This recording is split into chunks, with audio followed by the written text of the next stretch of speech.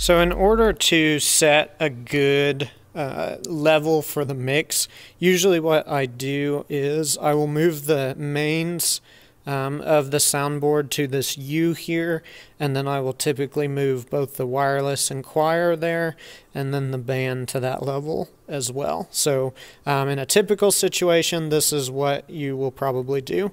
Now um, make sure that those subgroups are unmuted, otherwise no sound will be coming through the speakers.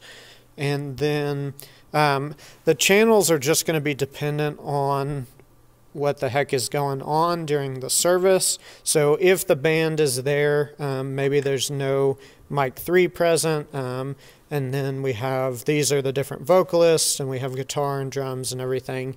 Um, you'll have to listen to, like, if the drums are too loud, then both of these channels here um, will have to come down. So really you'll have to look and listen.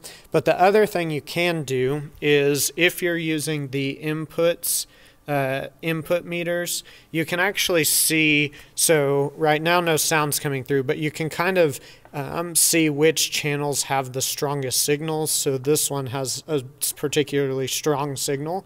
So that may mean that I actually want to turn that channel down um, for when it is unmuted.